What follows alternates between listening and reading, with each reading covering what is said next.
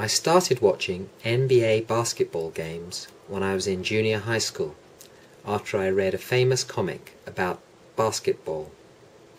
The speed and agility of NBA players is incredible. They jump so high, they seem to fly. They are paid more than players in any other team sport.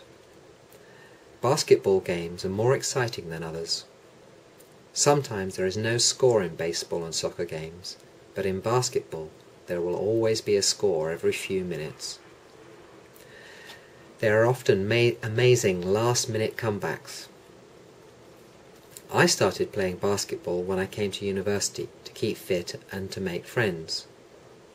Basketball is easy to play and you don't need a lot of equipment. All you need is a hoop and a ball.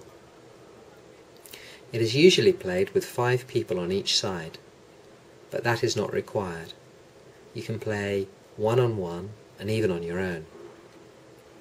The only drawback is that it can be dangerous.